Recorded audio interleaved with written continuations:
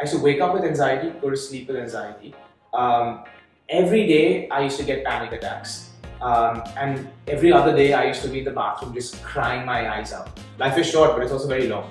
And it's very, it's, it's a paradox, right? But like, you're 18 and 19, it's like maybe figure out what you don't like doing and then you'll get to what you like doing. School will tell you certain narratives. Your parents will tell you certain narratives. Your social circles will tell you certain narratives. But like, who are you as an individual if you want to build your own network? If you want to just improve on communication as a skill set, it's a fantastic place to get. A lot of conflict Yeah. can be resolved if you just give it 20 minutes. And like just every day visualizing that something's gonna come of it.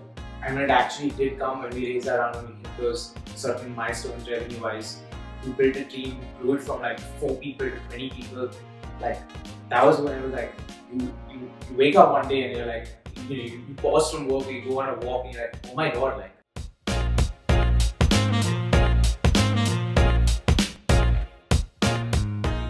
Hello, everyone. Welcome to the Breaking Uneven podcast. We love to talk shop, uncover the beauty of failures, and play a few games. Today, we have with us the co founder of Let's Level Up, Varun Balsara. Both of us actually went to school together, and then you went to University of Warwick um, and studied digital innovation and entrepreneurship. And while you were studying, you founded Connect Us, and you were also the host of the podcast, The Human Entrepreneur.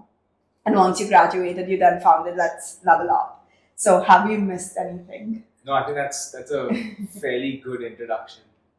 Perfect. So to get started, we play a quick little game to learn a little bit more about Let's Level Up.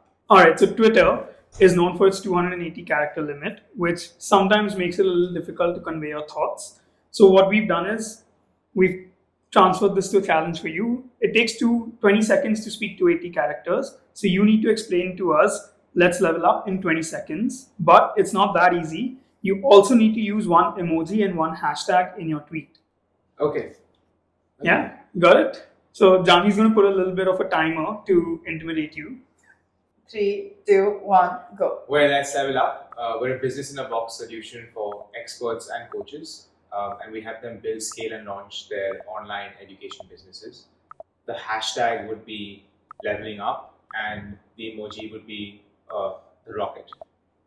Ooh, 15 seconds. Nice. Not bad. Yeah, This is what, like a 10th rocket emoji?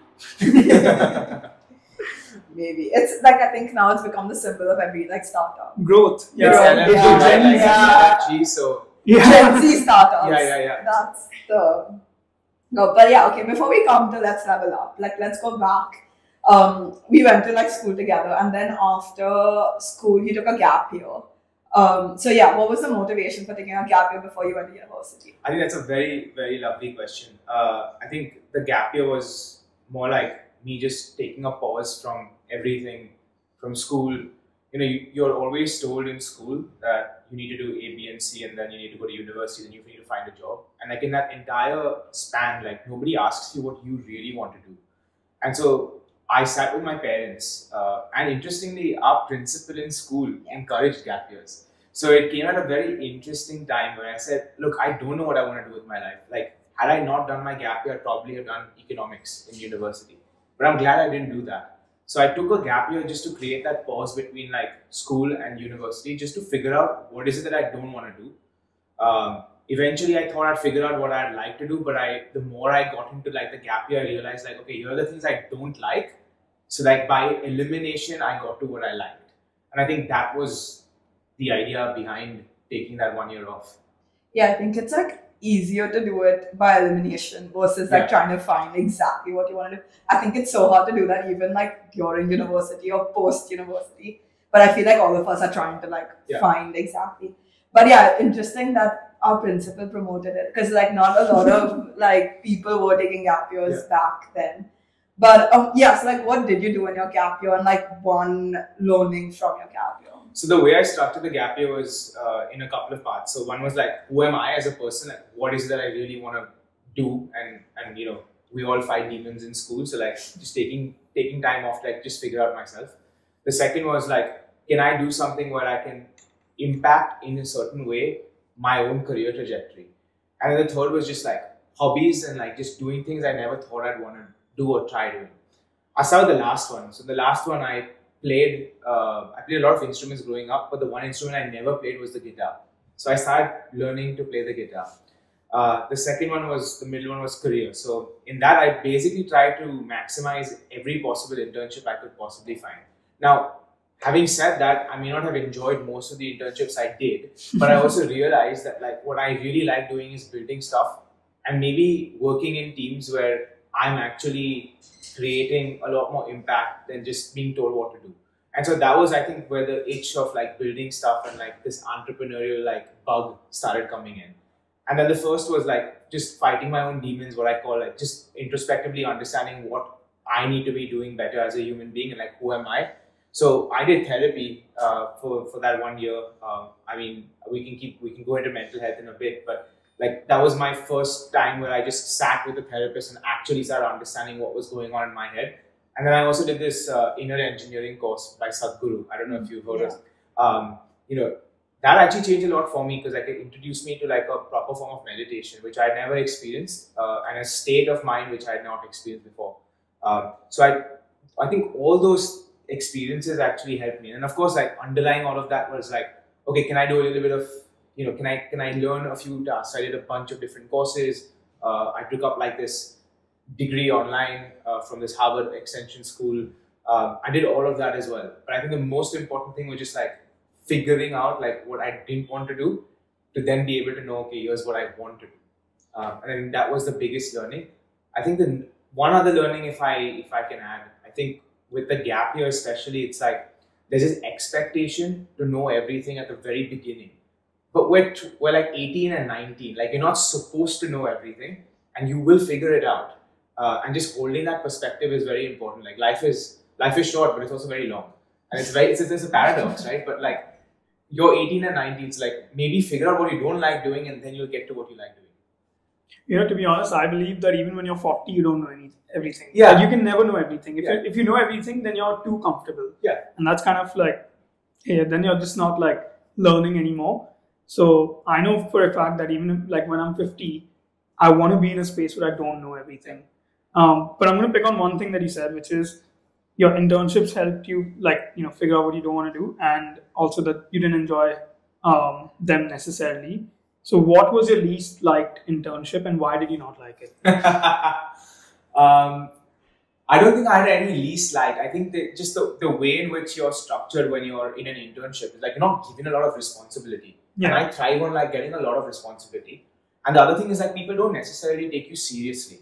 So it's not like one particular internship did me wrong or I didn't like it. It's just that the whole idea of like going and being a part of a company where you can't really affect that much change, just to then come out of that internship and say you did the internship, Yeah. just didn't. It wasn't something for me. So when I like to work on something, I like to like affect change. And if I can't do that in a very meaningful way, it just doesn't motivate me. So then it's just like waking up every day, doing the same things, doing, you know, because you're made to do stuff, you're given work Yeah. rather than it actually the work impacting the organization or the or the people around you. I think that was where I think there was this this thing of like, wait, if I'm doing all of this for somebody else, can I probably not just try out something for myself and just do it for me? And then if I can do that, then can I impact and affect change in my own way, in my own life, doing the things I like to do. Yeah. So that was, I think, where uh, I didn't, I didn't answer your question uh, exactly. No, you did, you did. I think, uh, I think yeah. so. Personally, I feel like the internship system in India is a little broken. Um, again, I say India because I know the context. I- I'm not going to speak anything about global, but basically, like for example, I come from, I am in the advertising sector, right? And at the risk of uh, annoying people that I work with, there is this idea of lack of talent in the industry. But then, if you ask any agency how what they do with the interns, it's again the grunt work, right? The no no responsibility stuff. Well, hey, if you're not gonna like gauge your talent, if you've got if you're taking 30, 40 interns a year and you're not gonna gauge their talent, and then when you go to hire, you're just gonna like open it up, then you're missing out on potential candidates. So I I totally get um like why you feel. But I think. I think it's a lovely experience to to go through that uh, for me at least because I then knew exactly what to do when I was hiring my team. yeah Like everything that annoyed me, I stripped away, and now we have a very well defined process that I think you know people have said it's not scalable or whatever. I just completely disagree with that. But like we've rewritten the rules of how we hire uh, at Let's Level Up today. And so, had I not gone through that process of not liking something, I would probably not have come to this realization. Fair, but now you have to get into that a little more. So, what are the rewritten rules? of- So one of the things that we do at Let's Level Up is we don't see your CV. We don't see where you're from. We don't see. Um, we don't even look at like, of course, like gender. We're gender blind. We don't look at CVs. Uh, we don't look at um, uh, your name. Um, it doesn't actually matter where in the world you are, as long as you can work the hours that we we're expecting. What we do look at is proof of work. So Yeah. what that means is uh, not a course, but like something that you've done that proves that you can do A, B, and C. So let's say I'm hiring for uh, a digital marketing um, uh, lead. I want to see their past experience of running ads for someone. And Yeah. it could be as simple as just putting together a portfolio of all your work and what you've done as an outcome. Now, for people that are not necessarily experienced, there's still a lot of ways of building your own portfolio of work. So we actually place a big precedence on that versus anything else. Yeah, And the way we sift through a lot of the, the sort of uh, talent is before the actual proof of work stage, we actually have two very simple questions. Why you? Which means you need to sit in front of a camera because most of our work is online. And we, so we sit in front of a camera and you tell us why you. So that basically helps us understand how you're carrying yourself out in front of a camera. And the second is what specific skill sets do you have? So like present what you've done. So like your proof of work, but explain. That tells me two things. One is how passionate you are about like us and you and what you've done and can you explain it in the most simple way because then we're testing for communication. When you pass both those stages, then it comes to like a case study interview where we give you a task. Most likely we will even pay you for the task if it's a very big task and we'll actually give you a context which we're struggling with. Once that happens, then I know like, okay, you're great at communication, you've done your work, and you know how to solve a specific problem set in our area. That's when we make the hire. This process has helped us eliminate so many. I mean, this is we've come to a point where this is a very defined process. We obviously made a lot of mistakes, a Yeah. lot of wrong hires, but eventually it just streamlines the process, and the quality of the applicant that comes at the end of it is far more significantly better than just seeing a CV and then just going through tons and tons of like these randomized interviews. And then you're like, oh, I made a bad hire. Well, obviously, you made a bad hire because you're not actually tested for the actual skill. Yeah, fair enough. And I think like um, you're getting more quality applicants than quantity applicants because like back to when like I was at university and you're just recruiting. A lot of times when you reach a point where like you have like the top ten companies, for example, you want to work at, and when you when you're past that, you're just finding places to apply that will take your CV, and it's a quick process. like from the other point of view, right? Like you're not going to want to give like a two minute recording about this, this, this if you're not truly passionate about it.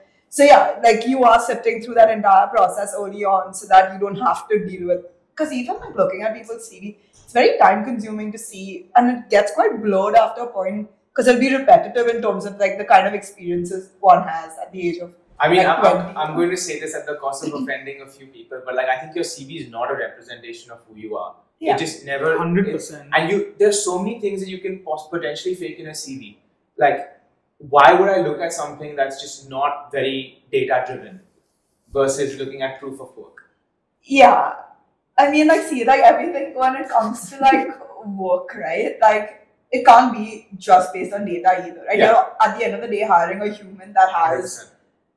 Emotions, works in a particular way, has that sense of like culture behind that makes them who they are, right? So it, it can't only be data. I think if you want to be data driven, it would be more CV. Yeah, I mean, what I meant by that was like if I'm if I'm looking at like your context of you as a human Yeah. being, like all of these things for me is like when I say data, I don't mean necessarily numbers, but Yeah. I mean like these are just points that I like to look at. So like Yeah. when I'm seeing you record yourself on a video, like are you are you looking at the camera? Are you are you dressed well? Are you is your body language carrying?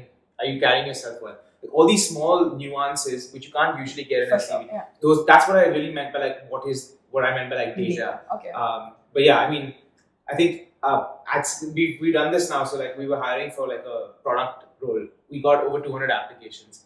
But when you initiate that that level of like you know adding that layer of like okay, send us two videos now, you dramatically like by about 25 30 percent, um, your applicants go down.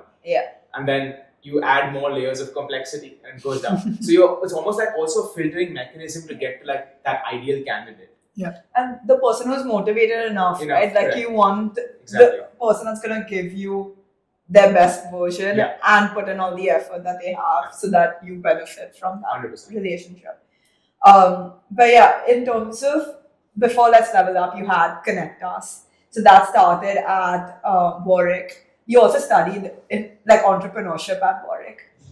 A lot of people are also of the opinion that you can't really learn entrepreneurship. so, what are your thoughts on that? I 100% agree that you can't learn it in in the in the context of a classroom. Yeah. Uh, what you can do is you can learn it by going through stuff. So you can't necessarily entrepreneurship is a very hands-on experience. Yeah. Like it's not like I read a book and then otherwise, you know, given the fact that we have so many entrepreneurship books, everybody would become an entrepreneur today Yeah. and do very well at it. Uh, so you can learn entrepreneurship, but it's it's a it's a mechanism of like just learning and doing and paying off what I like to call is like this whole idea of ignorance debt. Like you don't know enough, Yeah. so you're gonna have to make a lot of mistakes. When you make enough mistakes, you get to a point where you make less mistakes, and those less mistakes help you drive your idea forward. Uh, and that only happens when you do. Uh, you can't think and then not do. Yeah. I think entrepreneurship is a very doing. It's an act of doing. Um, so I, I think you can learn it, uh, but the way you learn it is not through conventional methods of just reading. It's through doing. I honestly think that with entrepreneurship, what you can do in a classroom is teach a certain mindset. Mm. Um, and yeah, fair enough. That mindset may be taught through experiences, but like now I've been working not as an entrepreneur, but again as um, a business owner for about two years now. And for me, honestly, what I've learned is just when there's a problem, I I know I'm not the solution provider. I'm just the framework for how the solution comes Mm. into it.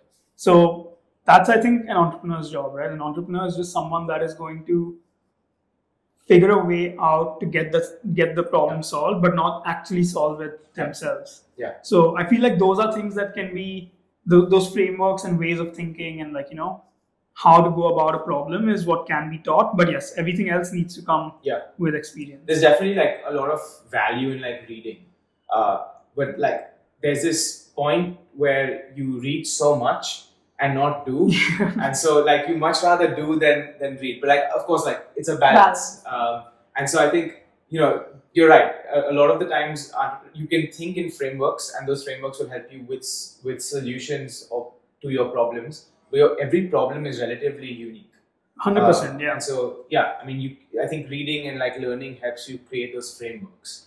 Uh, but I think frameworks and like processes can also get you just so far. I think Yeah. at one point it's also the skills you just develop by Yeah, doing, by like doing. you're saying, Yeah. like like you said. But like, um, because I feel like putting entrepreneurship in like a textbook format is very difficult because every business, like, and we've had so many conversations.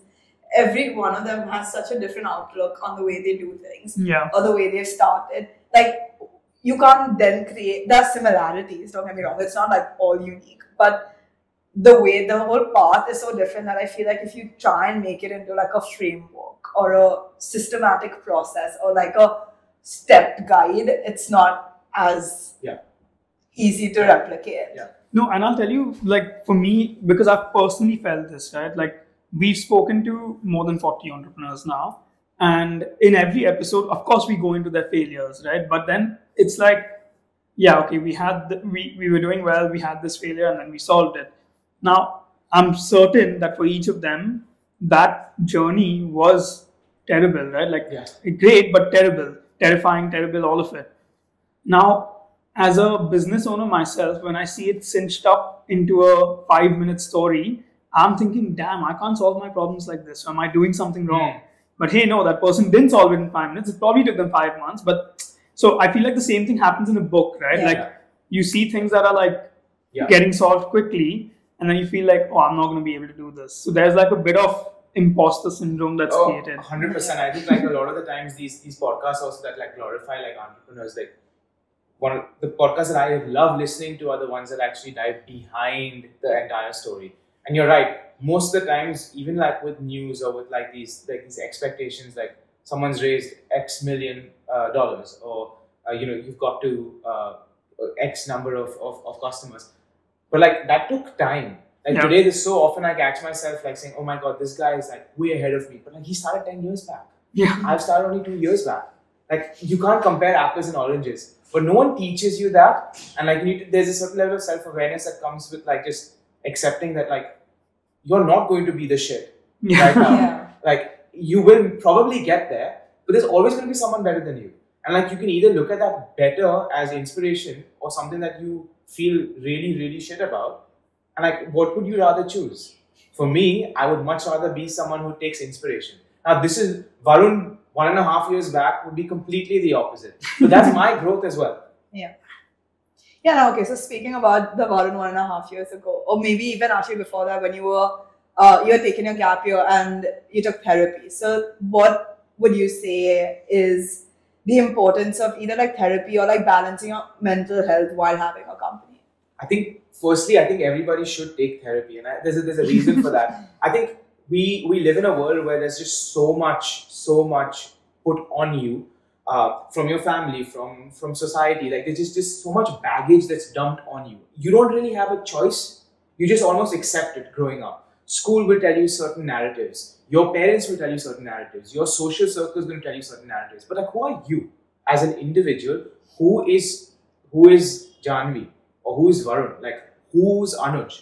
Like, who are you? And like, what is it that you really want? To unpack all of that, you almost go to therapy as a mechanism to learn what you really want. So it's a it's a it's a it's almost a journey or an exploration into like human behavior of yourself. And I think that is firstly what I think therapy is. And why I say everybody should do it is because it will just give you a much relatively more clearer version of what you want. Simply by talking and carving out time to talk about yourself, which is something we don't really do very often. Yeah. So how has going through therapy helped you build your business? So probably you probably uh, you probably seen me in school, right? So school Varun was extremely ambitious to the point where he wouldn't really care too much about like social interactions. Yeah. Uh, to the point where you know, you know, you you I'd be very abrasive or very aggressive or probably you know not want to talk or maintain relationships because you know what end goal I want to achieve and that's it. What you soon realize if you go down that path, which I did, was the journey becomes incredibly lonely. And when you're building a company, it becomes even more lonely because you don't really have time to meet people. And then if you don't foster certain connections in a, in a, in a positive way, you're probably going to get even more lonelier. Now, I'm saying that with extreme clarity today, but it took me a while to get to this point. The other point is like a lot of social narratives that you form growing up. So I I was someone who took a lot of time to learn certain things. So I had like learning disabilities growing up. So I was always told like in school you have to do double of what everybody else does. But is that really true? And so like you unpack that over time to say, okay, like you had learning disabilities then, you've worked on it now, you probably coped with it in various ways. So then maybe it's not double of what everybody needs Yeah. to do. But if I had to live with that constantly over and over again, I would still today think that okay, if someone's taking one hour to learn something, I need to do it. I need to spend two hours doing it, which is probably not true. So I think those, I think two main examples uh, came up um, in my in my process. Obviously, like I have an anxiety disorder. It's called uh, OCD, obsessive compulsive disorder, and ONC, like your obsessions and compulsions, take place in various forms. So obsessions are like thought processes that loop, and we can get into how that actually affects me as an entrepreneur and how it did affect me um, even even till today. And then there are these um, uh, com- compulsions, which are like so if the if the glass is not put in a particular way, I want to put it back in a particular way. So how do you solve for that? Because it gets very debilitating every day to like try and maximize for how I should be walking or how I should be putting my glass in a particular way. Uh, and so I think eventually, like, how do you even cope with that on a daily basis? So that was my third thing. Uh, so I think that it, it, it does help. Maybe it's not for everyone, but I think everybody should kind of give it a shot. Unfortunately, the one thing that saddens me the most is there's this extreme stigma attached to it. Yeah. Uh, I just wish we could move past that um, in, in some way, shape, or form. I mean, this is. I'm. I'm. We're hoping this helps, right? Like I hope so. talking about it openly is just Yeah. is what's going to drive stigma away. But I think so. I agree with everything you said except one thing. I, I do agree that everyone needs to therapize themselves in some way or the other. I I feel like there's multiple avenues, right? Like Mhm. therapy is one of the avenues, Yeah. of course. But there's different ways. Like for me personally, I've tried therapy. Um, it didn't work for me because I'm not the kind of person that likes to like talk a lot. I like to like introspect and like solve whatever in my brain Yeah. itself. So therapy for me is like driving in the car, Mm. listening to music, and then just letting my thoughts go wherever. Yeah. So yeah, I agree that everyone needs to therapize themselves, and you should find that avenue for yourself, whatever it might be, even if it's therapy. Yeah. So just Anuj, one, one thing on that. So I think uh, just want to clarify. So there are different kinds of therapy. So there's certain kinds where you talk a lot. There's certain kinds where you reflect a lot. Uh, and there's certain kinds where you it's an eclectic method where you do multiple forms of therapy. And for anybody listening to this, I know this is a sidetrack from like business, Yeah. but I think like with therapy, it, it just like this found like this product market fit, right? In the in the world of business, there is a therapy, um, there's a patient doctor fit uh, that takes place. So not every therapist will be your match. And I've gone through a few therapists to be able to get to my match. So it's a lot like finding a co-founder, or it's a lot like finding product market fit, uh, or it's a lot like finding founder market fit. Um, and the type of therapy that you do depends on who you are. Uh, so what you're talking about when it comes like driving or when it comes like letting your thoughts go, that's a great way to actually decompress from a day. Fair. but fundamentally uh, challenging your thought process takes time. So whether you do that with like a life coach whether you do that with a therapist like that's up to you. But as long as you can get yourself to understand like what am i thinking? Where am i going wrong cognitively? Or where do i need to change? I don't think it's a right and wrong thing but like where do i need to change? That's where like you'll actually start picking up on patterns. Yeah. when you start picking up on patterns, you'll realize, okay, this pattern actually started way back when my mom told me this, or my dad told me this, or my teacher told me this. And then how do you break that pattern? Because a lot of the times your mental health, your mental struggles come from past, I wouldn't say trauma, but like past experiences that will shape you today.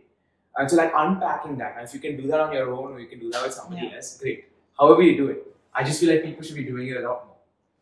So speaking to you more, it seems like you know, um, you definitely have like a very podcast host vibe, and you have had a podcast in the past. So why did you start it, and would you encourage someone to start their own, and why?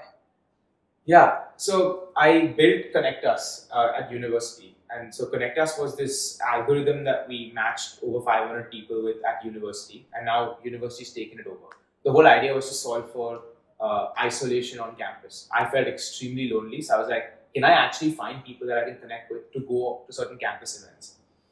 Now, in that process of building Connect Us, I realized that A, this is an incredibly fun journey, but it's also a very lonely journey.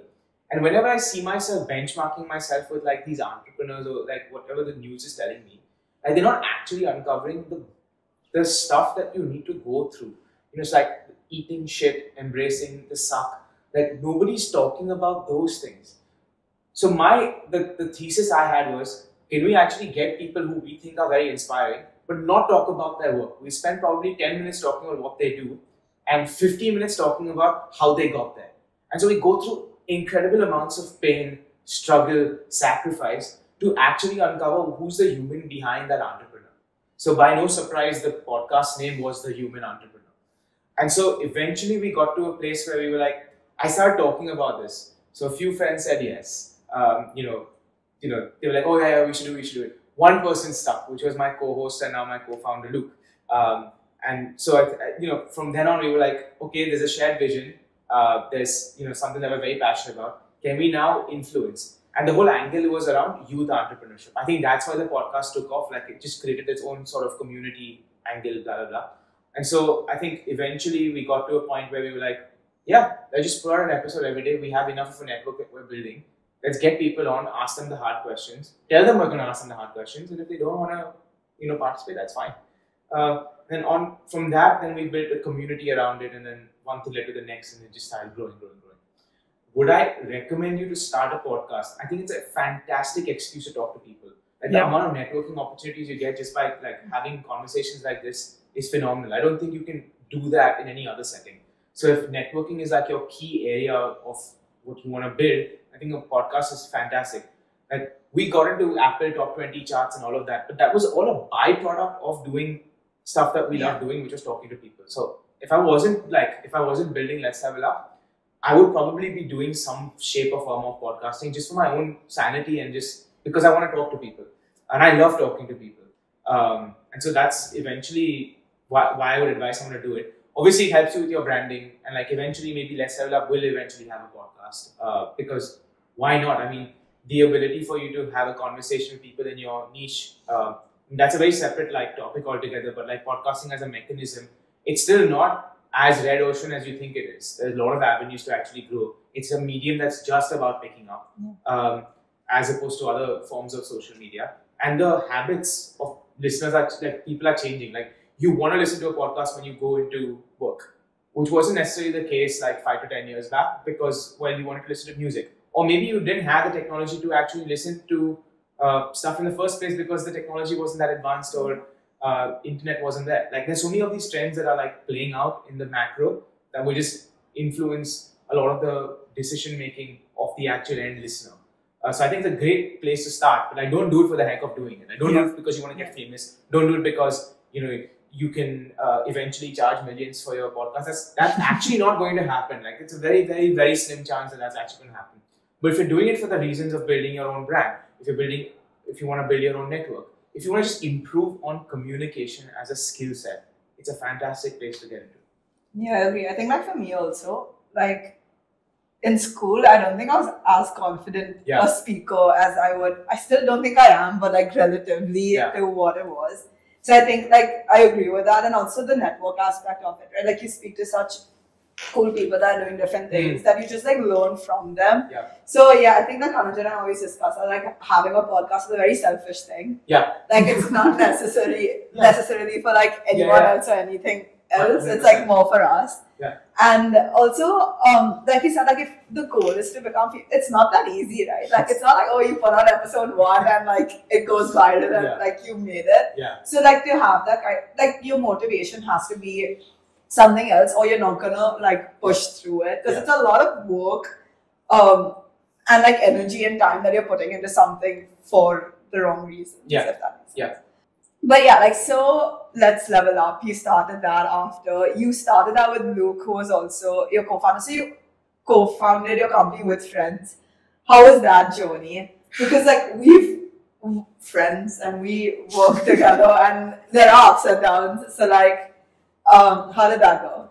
Yeah, um, doing it with friends is, is is I don't know. Like, would I suggest doing it? I think so. I mean, um, I've had experiences where you've been friends with someone for a very long time and started something or co-founded something, and it will fall flat.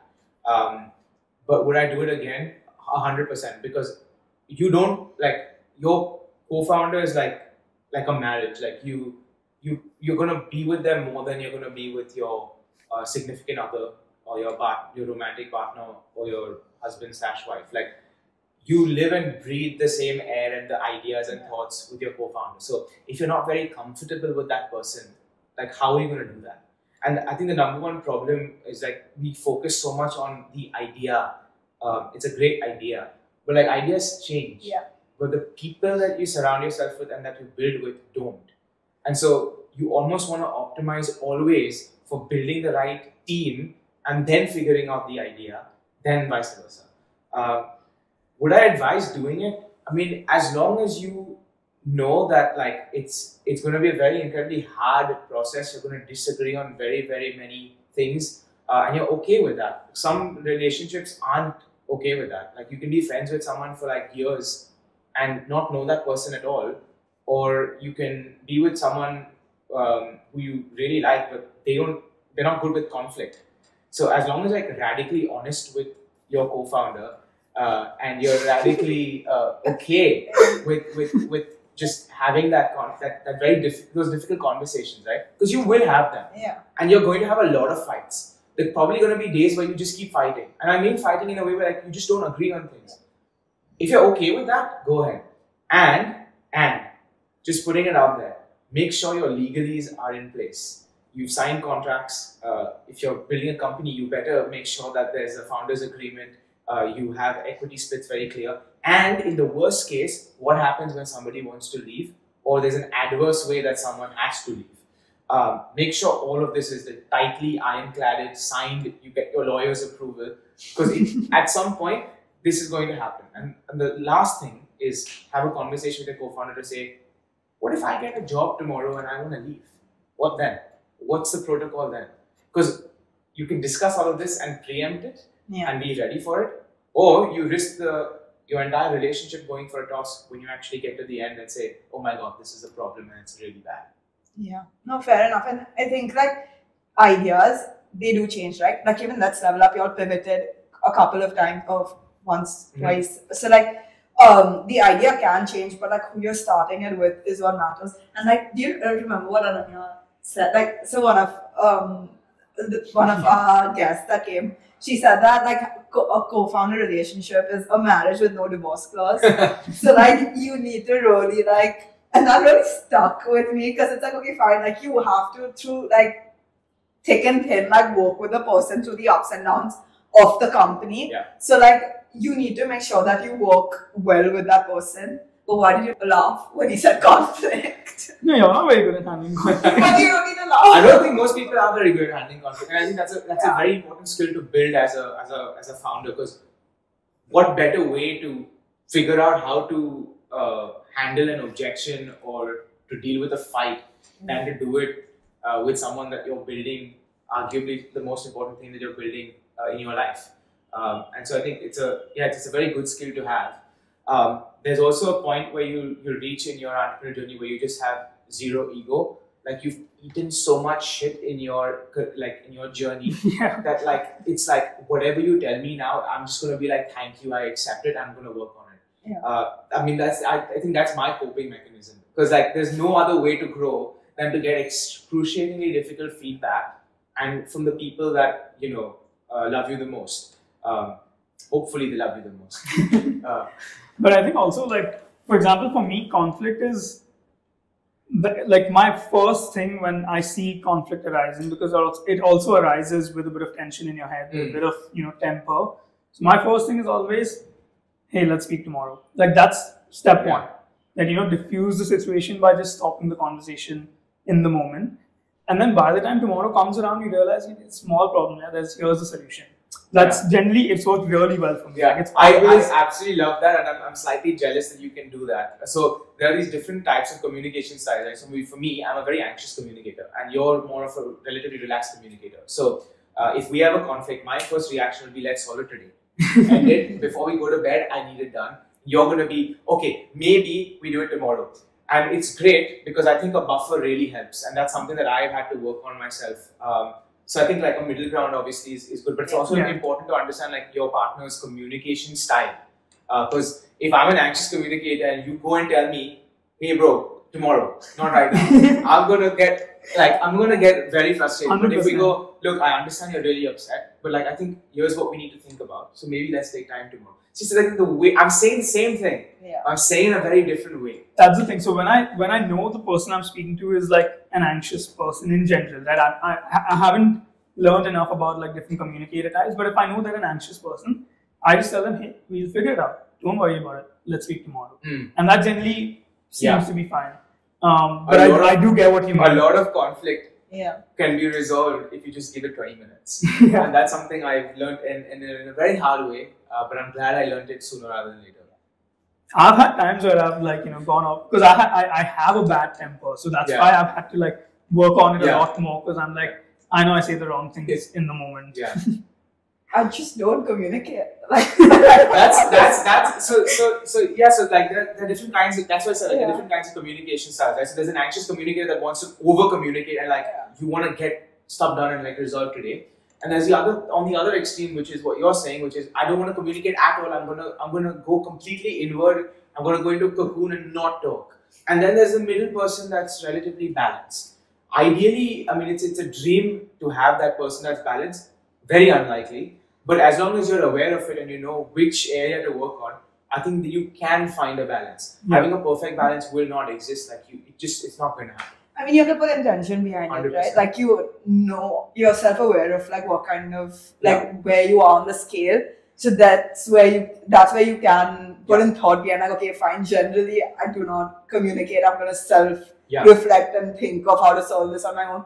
But like if I'm aware of that in that situation, then you put in the effort of being like, okay, you need to communicate with the other person to come on the same page. I fundamentally believe that every relationship, romantic, friendship, business, starts and ends with communication. And if you're not able to do it effectively, and it's a two way street. So if I communicate really, really well, or I want to communicate really well, and my partner is not able to do that, it will break Yeah. eventually.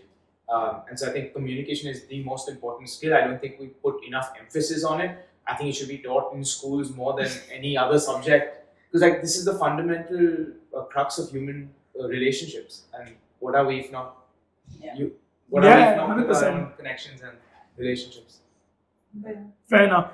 I'll add one last thought. I also feel like no matter what you do, like for example, I do try to I, I think of myself as decent with conflict, but it also depends on the situation, right? Mm. Like now the daily conflict is something I'm very good with. Mm. Right? Like I don't know, someone came to work late, or you know, let's say we disagree on how to edit a video. Small stuff, like you get good with it. But let's say tomorrow there's a situation where she's like where she's like, hey Anuj, I've got a job. Um, so you know it's going to be a little difficult with breaking uneven. Now, in that situation, the emotions that are inside your head, etc., are much higher. Yeah. And that's when you know maybe your framework breaks down. Yeah.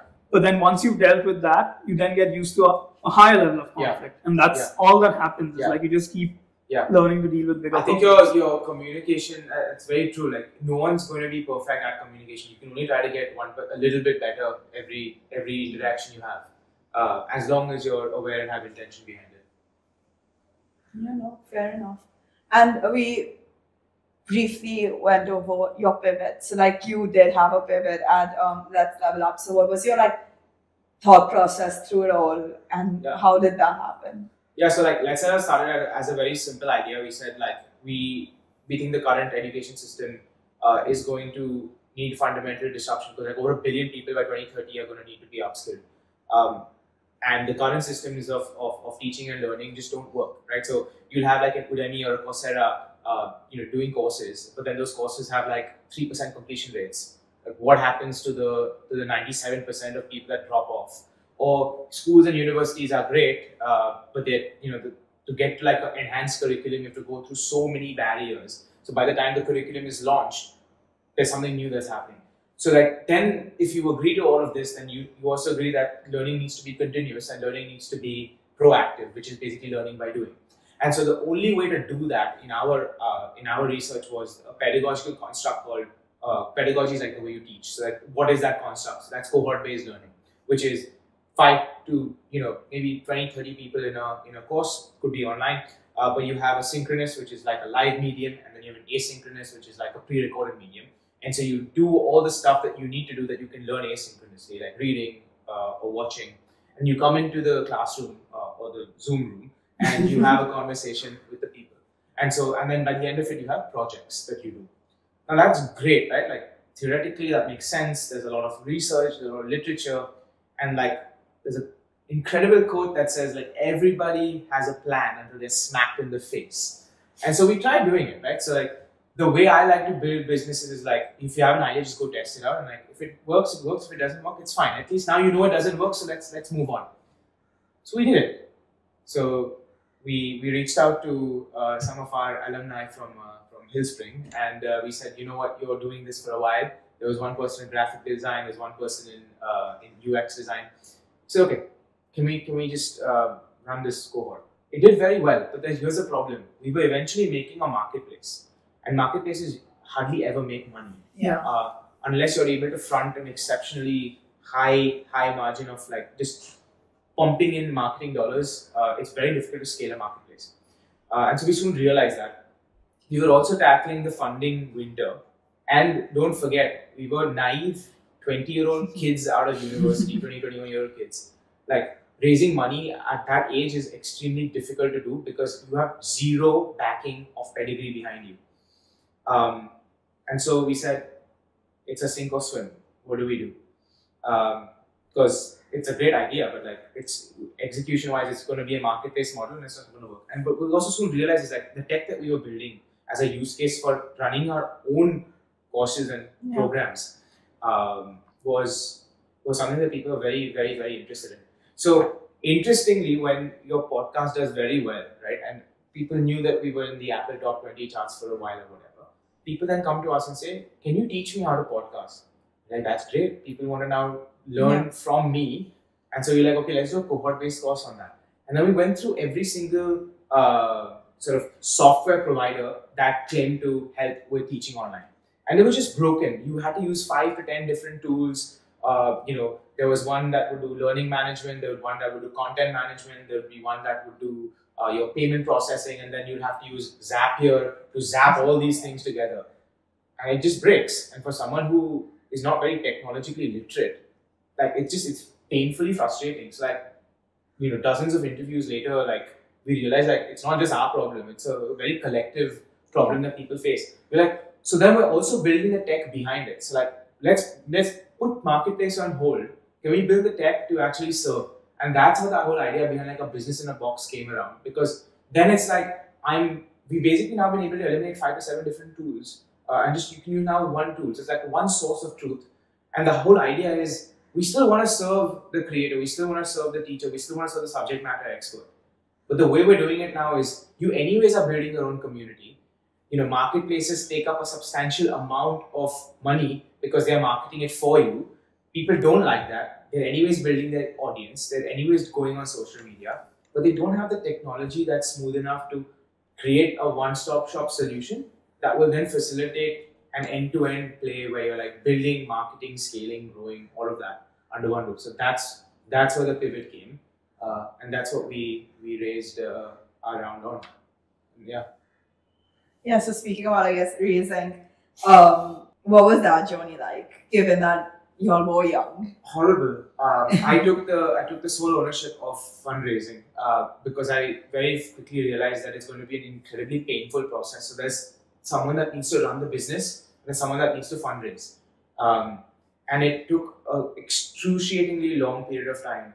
Um, there were term sheets. So I don't. So term sheets are basically, uh, you know, there's like a agreement Yeah. that Yeah. I'm going to put in money, but it's not legally binding. So you can very well understand if when I say a term sheet gets pulled just days before money gets deployed into your bank, how painful that feels. So there was one thing where we were like, we weren't necessarily running out of cash, but for how long can you keep um, not paying yourself, for example? Yeah. Or for how long can you rely on just four people uh, who are working minimum wage uh, to do certain tasks for you? Uh, so it, it, you know, you, you you get this feeling of like these these walls closing in, and you're like, oh my god, there's no way out. So I don't remember the time in my life where I have uh, cried so much as I did in that six months of fundraising. Um, I used to I used to wake up with anxiety, go to sleep with anxiety. Um, every day I used to get panic attacks, um, and every other day I used to be in the bathroom just crying my eyes out. Because all you're doing every day is waking up to a no. Like, sorry, this is not a good fit. Sorry, the market's too saturated. But the beauty is, you just need one yes, uh, and everything else is history. Uh, so I don't know where I got the, the strength. I don't know what the, the thing was, but like when you put yourself into a sink or swim situation, like something just comes. Um, and I'm very grateful that it did. Um, but yeah, it was a horrible process, very, very, very painfully. Um, you know, we were raising at the time where everything was collapsing. The economy was collapsing. There was the the, the, the war. Um, market sentiments were horrible. EdTech, which is kind of where we flood the lines uh, with, was not doing very well because there was just like dramatic spillover effects from India, especially. Um, so yeah, it was just the worst time to fundraise, um, and it was the, the most horrendously horrifying experience I've ever had in my life. Do you have a count of how many no's you heard? Probably close to 150 to 200. Wow. Um, I, I think I I think I still have an Excel spreadsheet uh, of like just red, red, red, Yeah. red, red. And when you go back and you ask them like, what is it? Why? Nobody gives you an answer. Yeah. And that's the most painfully frustrating part. Um, but then you also recollect the times where like the first person said yes, and then the second person said yes, and then the first person connects you to the third person. That person says yes, and so like then then there's momentum that builds up. The snowball effect. Yeah. And then eventually we had a couple of term sheets from venture funds and we had a couple of term sheets from angel investors. we chose the angel investor route, and I'm very glad we did that. And we, we said no to to to think um, to venture funds. The choice, then it's luxury at that Yeah. point. It's luxury, but it's also very very difficult because again, like you need to remember we're first time founders. We don't we don't know what we're doing. Like I'm building my third startup, but it's a proper startup Yeah. uh, with with people who are the team, employees. yeah. You have burn- you have cash flow. Uh, you know, there's there's employee contracts. Um, so we didn't know what we were doing. As in, like we knew we made decisions based on what we knew best, and to the grace of God and the universe, like we were able to fundamentally have good advisors who guided us all along the way. Uh, but horrible journey uh, of fundraising. It was just so painful. Fair enough. So let's move to our next segment. Now, this is called Two Truths and a Lie. Um, basically, the idea is you give us three statements from your entire journey. It can be challenges, achievements, personal, business related, up to you. Two of them have to be true, and one of them has to be a lie. And then we're going to guess which one's a lie. Okay. Um, okay, so first statement. Um, I have cried every alternate day for the last six months uh, during my uh, during the first year that I started the business. Um, Let's Level Up has been the same, uh, pretty much the same idea and ethos ever since we started. Um, and the third is probably um, the creator economy is going to explode in the next three to four years. I'm going to go with the third one. The creator economy is going to explode. Is that right? right? Yeah. Yeah. Um. Okay, I'll go with the second one that it's changed. So, like, yeah, you said that it stayed the same throughout, but I'm saying that that's right. Okay, and I give the answer now. Yeah. Yeah, it's the second one. Um, I mean, I thought of one, but then I was like, maybe the ethos is the same because he just discussed pivot. Yeah. That's too easy.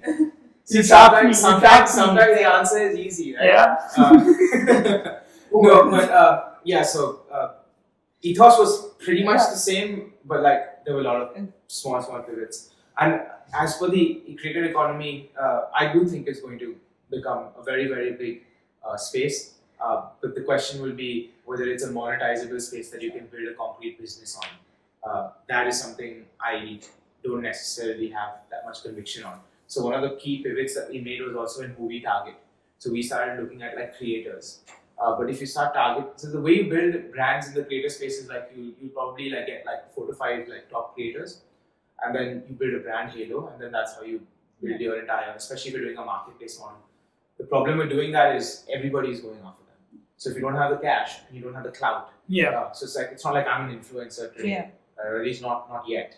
And so like I can't go to Why like, will they choose you? yeah, why Yeah. they choose me? Um, and so that is what I meant by like, is it is it a monetizable space? Um, and can can great billion dollar companies be built on in that space? Maybe, uh, but you know, do I have that conviction today on that? No. So that's why we then pivoted into like small business owners that are doing these coaching. So like the coaches that we serve, or the, the subject matter experts that we serve, or the businesses that we serve, they're small businesses, uh, and then they go on to slightly SMEs, like slightly larger businesses, and they usually um, they have their own small community. So you'll never probably know of them, but they're doing fairly well for themselves uh, because they've formed a small niche. Uh, they run targeted ads, uh, and they'll do a specific course or a specific coaching program for a specific niche. Uh, and so that's one of the key learnings that I had was like you don't have to go and build this extremely fluffy business with like Yeah. clout and like PR and press. You can build a very sustainable, growing, very quickly growing business uh, in a in a niche that's probably very unsexy. But it's the unsexy businesses that actually work. Yeah. So that was an interesting You take plastic bottle label and cap manufacturers. Yeah, They do 5,000, 6,000 crores of revenue Yeah. per year. yeah, It's not a very sexy business, Yeah. yeah. but 5,000 crores. Exactly. That and also a lot of people are now targeting micro influencers, people with smaller communities Yeah. and like smaller, I guess, cloud Yeah. than the big ones. Because a yeah, everyone's going after them. But be like, how can one person sell so, So many many, things? yeah. Like after a point, you're not gonna be able Yeah. to like believe what they're trying to sell because it's So just your creator will also like a, a, a- an influencer today will reach a point of saturation on what they can sell and to whom they're selling to. Uh, so if I go to a fitness brand influencer, like how many fitness apps will they keep endorsing until me as an audience realizes like this guy is just going on and on. for yeah. yeah This person just making money yeah. and So then the I- credibility goes down, Yeah. and so like then it becomes it almost backfires over a period of time. Fair enough. But yeah, moving on to our next segment, it's called red flags. So we're gonna give you three situations. Each situation has two good things and one bad thing, which is the red flag. And then you have to choose which situation you would rather be in. So situation one, Let's Level Up has served over 5,000 exports. Let's Level Up has successfully raised another round of funding.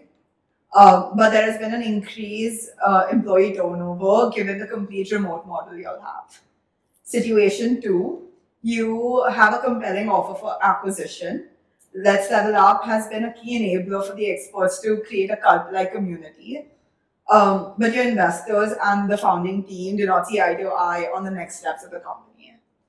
Uh, situation three, Let's Level Up successfully expanded to 25 international markets. You have massively contributed towards revolutionizing modern education, but Let's Level Up has not been able to raise another round of funding. So those are your three situations. In the last situation, what does my cash reserves look like? That's unknown. Okay, take the current trend of your business. so I have to uh, pick Choose which of these situations you would rather be in. right. Okay, so I think situation three where we've expanded to 25 international markets and we've massively contributed to revolutionizing modern education, but we haven't raised another round of funding. Um, I'd be completely comfortable with this if we were a cash flow positive company, um, which is what our goal is. So hopefully, every expansion comes with a necessary amount of fiscal discipline, uh, which is what we've done for a very long time. So in that case, like I would, I'd be very comfortable not raising a round. And that's ideal actually. Like we don't want to be reliant on uh, venture funding at all. Um, and so if that is the case, then great. I would much much rather be in situation three. However, with expansion comes its own necessary problems, um, and so you might need growth funding. So if you're not able to raise around there, then that's a situation that I don't want to be a part of. So in that case, I would much rather um, look at situation two because the compelling acquisition offer means that we're probably doing something correct. And again, it's it's a matter of communicating at the end of the day what the end outcome looks like for all of us. And I think I have enough faith in my co-founders uh, and in my board uh, to know that we will make the best decision for the company, uh, not maximizing for any personal uh, outcomes as much as for the company outcome. And so I think if someone has a compelling acquisition offer, that means they're doing something really correct. And if they say that it's not the right time, and if my investors say it's not the right time, then maybe I listen to them and maybe we wait and grow it even further until we get to a better acquisition offer or IPO. Fair. I think you know earlier when you said that um, you had mentioned earlier that you didn't want to go into the uh, marketplace business because yes, you need to burn a lot of marketing dollars to get to a decent level because that's a volume business Yeah. per transaction fee. And the moment you said that, I felt like the third situation might just be up your alley because you're not trying to, you know, fund burn, fund burn, fund Yeah. burn. You want to like eventually just make sure that your revenues can be recycled Yeah. to grow the business. So, yeah, I think that's pretty much the same Yeah. mindset. I, I, don't, I think we're so fixated. I, I was very fixated on like raising the next round and like getting the clout and getting the press and the PR because everybody was doing that in, Yeah. in your circle. Like everybody celebrates funding. No one celebrates profitability. No one's actually like talking and shouting on the rooftops about like I went cash flow positive this month or I broke even this month. And that's actually a metric that that works. If you cut away all the fluff and think about business from a first principles approach, there are only two things that matter. You build a decent enough product and you sell Yeah. Yeah. and that's it. Everything else is secondary.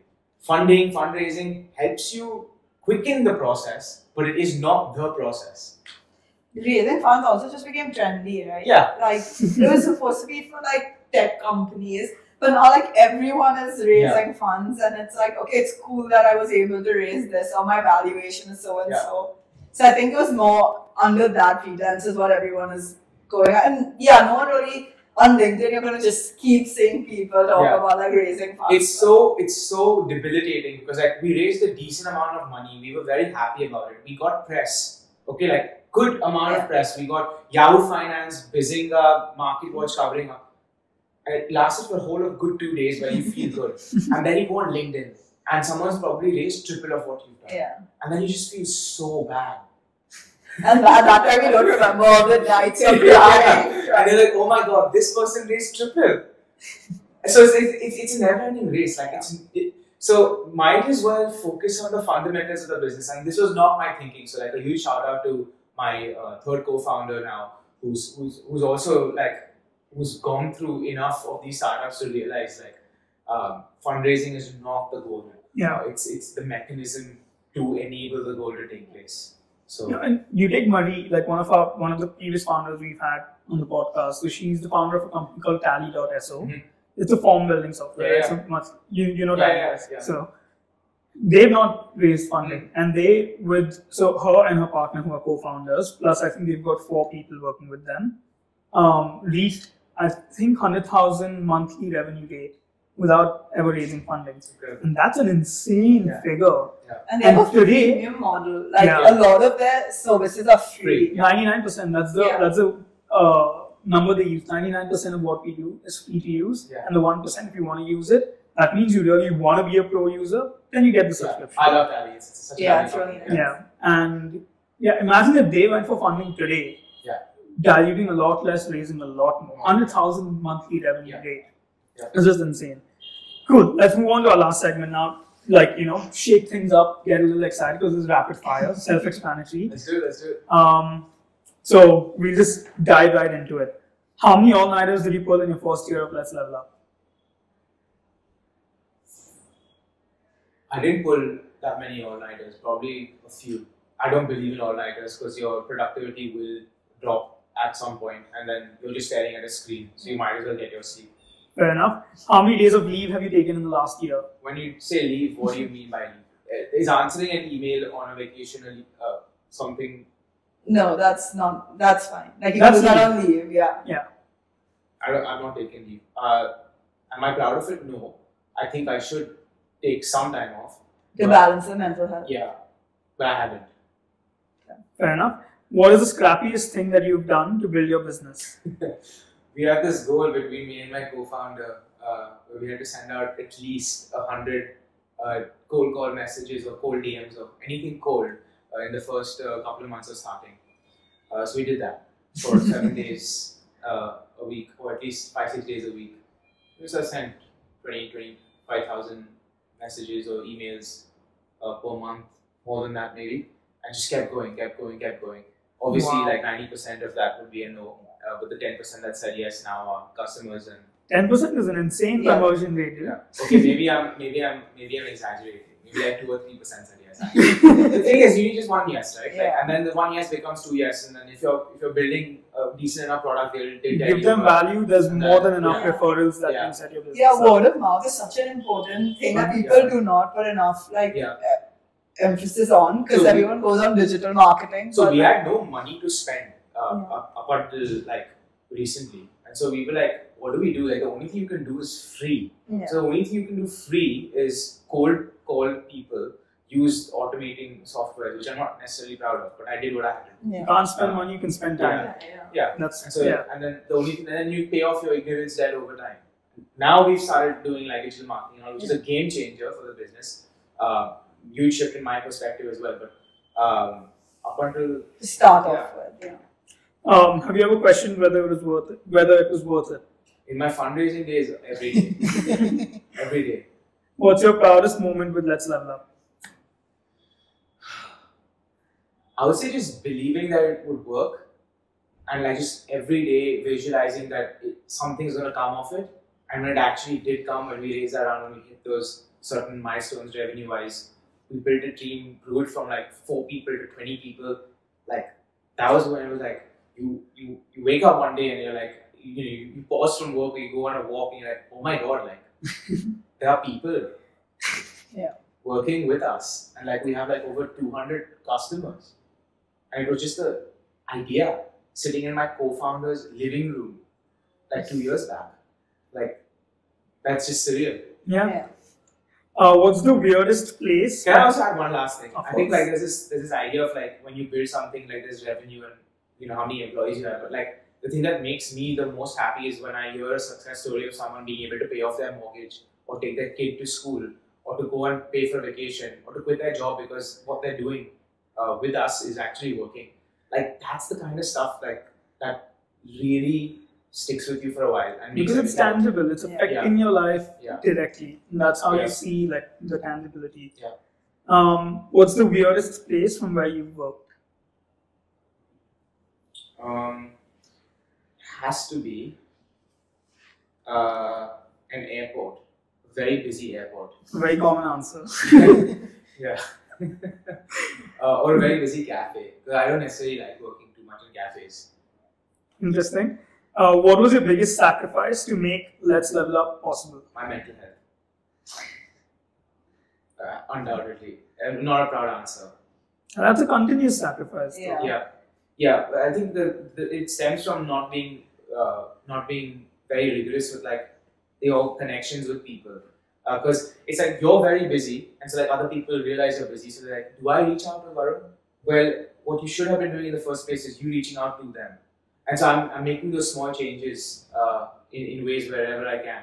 Uh, so hopefully, I felt that too. I felt that too because like you get busy and then you say no to like two things, and then people like Stop. obviously want to give you your space because they don't want to unnecessarily Yeah. hassle you either. yeah, And then you realize because you don't reach back out, suddenly you're in a space where it's like heading back into Yeah. loneliness. Yeah. I get that. Uh, what was an what was a moment that had you go, oh shit, good, bad, whatever. Oh shit was like the one that I told you about, like in a positive way, where it was like, wow, we're like this, we actually building it's, Yeah. become a fairly decent sized business, revenue wise or like people wise. Uh, and I was like, my god, um, oh shit. Uh, I guess when you when you come to a realization that certain people, especially the, the people that start the company with you, um, want different things and they probably have to leave. And you have to make a hard call on what that looks like. That's hard. Yeah. and you say oh shit. In a very very different context then. What was one time you felt like you let Let's Level Up down? so this was when my ocd actually came into the picture. Uh, the last couple of months like august to about three to four months from there uh, were very, was a very dark time for my for me personally. There's just a lot of personal problems uh, going on, and so when that usually happens, there's an extreme level of anxiety, and I usually revert back to like these obsessions, uh, thought processes. Two things that really trouble me is one is when I have a decision to be made. Let's say we make a decision. Um, two hours later, I doubt that decision. So say let's increase ad spend by twenty percent, and we do it then I call my co-founders up and say, sorry, let's actually reduce it back. And you keep doing that, it's going to really piss people off, very understandably.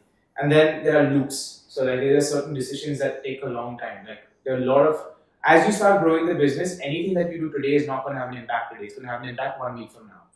Uh, and that mindset shift, you know, takes time to sort of, sort of, because you're all constantly hustling every day. So that shift was eventually where it was like, oh my god, in one week, what's to happen? If this happens, that happens, that happens. So you constantly go those loops. So my co-founder sat me down and said, look, Varun, this is getting a bit too much. Uh, I don't think we can work with you if you keep doing this. Um, it was almost like this final, uh, and they did nothing that they said was wrong, uh, which was the the part that was very difficult to swallow. So there were two days, Saturday and Sunday. Uh, one of those weekends, uh, I was I was in a play. I got that message. I had to come out. We had a long conversation, and for two days, all I did was sit with myself and say, "What is going on?" And so then obviously I, I, I self-corrected. So I went back and said like, let's make decision logs. And so I did all of that. But like, that was the one time I felt like I didn't necessarily let let's level up now. Uh, but had I continued on that path, I would have. But what I did was I let my co-founders down.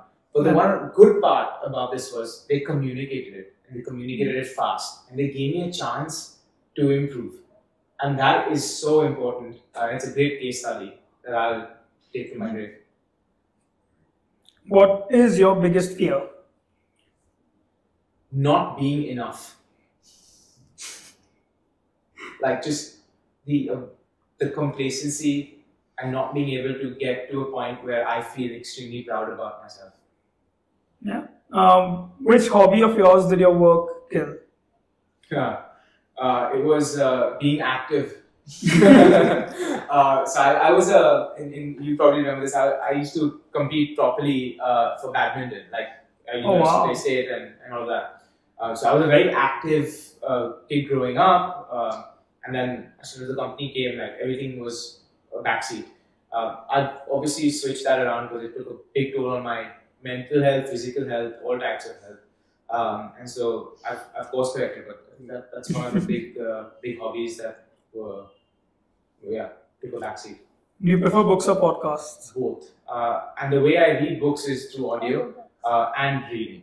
So it doubles the time, uh, it quickens the pace, but also improves my uh, my memory of the book. So I'm using two basically uh, senses. Senses. And Okay. podcasts, yeah, while traveling or Do you prefer iPad or notebook? I'm trying the iPad. I'll see how it goes. I like doing the notebooks, but like I was like, why not try the iPad? Because it goes with me everywhere. Or it Yeah. could go with me everywhere. Are you a morning person or a night owl? Yeah, I tend to be a night owl. I want to correct it though. And what's your favorite social media? Does WhatsApp count? No. right? No. Um, probably is YouTube and LinkedIn. But if I had to pick one, it would be YouTube. Nice.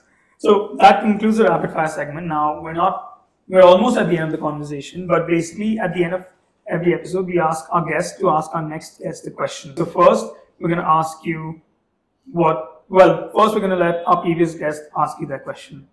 Yeah. Okay, great. So my my question for the next guest is, um, how do you go about deciding to pick up projects between creative satisfaction and commercial satisfaction? So yeah, looking forward to your thoughts. So how do you pick between commercial satisfaction and creative satisfaction? So usually when we when we decide on on what uh, a project looks like, um, there are two things that that I look at. I, I think I can derive creative satisfaction one way or another. Otherwise, I wouldn't do what I'm doing. Uh, so I'm assuming that I have a certain level of creative satisfaction. Obviously, I'm not going to get as much creative satisfaction uh, doing one thing over the other. But the way I think of it is, I don't think these are mutually exclusive. If I don't focus on the commercial angle of a business or running a business, then I will never have the ability to have creative satisfaction.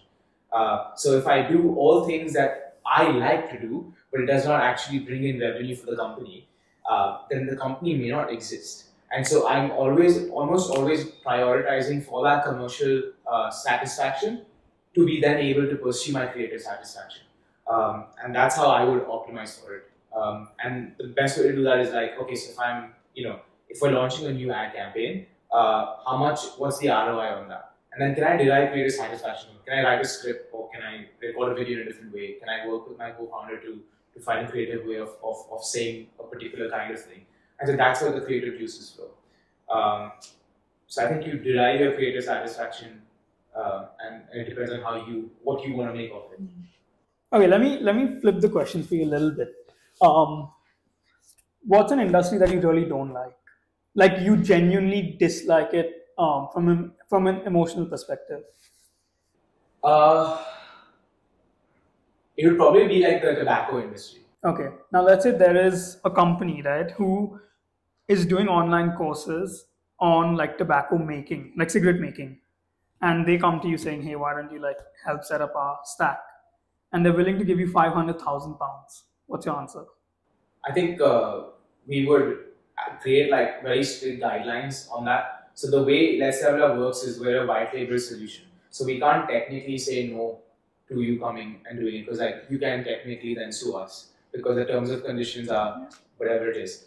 But in those clauses, uh, in the clause, we do say that you know you can't you can't do certain things like not safe for work, um, un- unless unless there's explicit approval given, which we will probably not give. And so like this is an ethics question. And so like would I allow someone uh, to to to for cigarette making or like how do you create a, a perfect cigarette? Probably not. Uh, and I'm justified in doing that because of my contract um, and the terms of service that I have for the. Um, now, if you find a loophole and try to trick the system, and we don't find out, there's no way of me knowing, which is going to be extremely rare because we Yeah. do very very strict Mm. checks on who's using the platform, what they what they're creating, etc. Uh, so I don't think that would ever exist. Money will come. Uh, I think if you provide enough value and you're your in your in your uh, creating that momentum, like money will come. I don't think you're optimizing for money. This is a more of like a ethical dilemma, and I think we as a team are very clear that like certain things are just not on, and Right. we will not allow that to take place on our platform, even if we're a white label solution, even if we're a SaaS. The reason I wanted to flip the question was because Neil's um, question also comes from the fact that he is in a more creative Right, business. right. So yeah, kind of to see No, how but I would. think he took it correctly in the sense like, okay, yeah, would you choose a, would you, in any decision, do you prioritize creativity or do you prioritize commercial success? Like, No, do no, you fair. self-satisfy? That's yeah, that's like decision based. I was also thinking from the perspective of like taking on a client. yeah. Mm. Um, Yeah. But anyway, uh, Varun, thank you so much. Thank you. It's for been absolutely joining fun. us. No, thank you. It's been it's been absolutely lovely. Thank I feel like this is a podcast where it's going to be so difficult to decide the title because we've spoken about like hundred lot. different Yeah, it was a very nice, casual flow. Yeah. It's very fun. I think we call this untitled. then no one's clicking on it.